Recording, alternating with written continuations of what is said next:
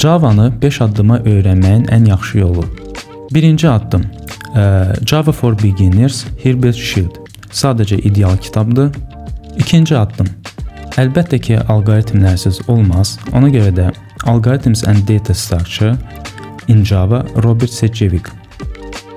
Üçüncü addım isə real texniki intervyularda verilən alqoritm suallarını praktika eləmək üçün LeetCode platforması.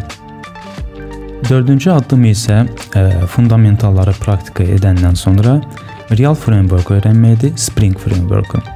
Məsləhət görəsi kitab Spring in Action by Greg Walls. 5-ci addımda isə əlbəttə ki, sıfırdan layihə qurmaq bacarığınız olmayacaq deyənə e, YouTube-dan qeyd elədiyimiz e, aşağıdakı resurslardan professionallar tərəfindən sıfırdan layihə nətə qurulacaqsa onu izləyəcəksiniz. Java Development-in ümumi qısaca xəritə yolu e, Gördüyünüz kimi xəritə yolu başlayır fundamentalları öyrənməkdən, hansı ki qeyd etdiyim kimi data strukturlar, alqoritmlər, obyekt yönümlü proqramlaşdırma, funksional proqramlaşdırma, data tipləri və s.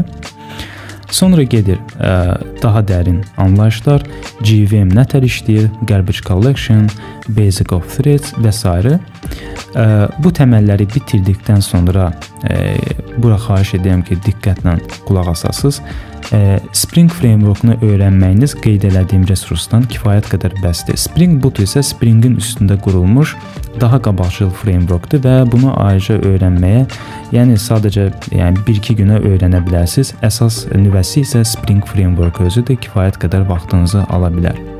Sonra qabağa getdikcə, yəni senior səviyyəsinə qalxdıqca Object Relational Map, GDBC və s. burdakı xəritədə olan nüansları görə bilərsiniz.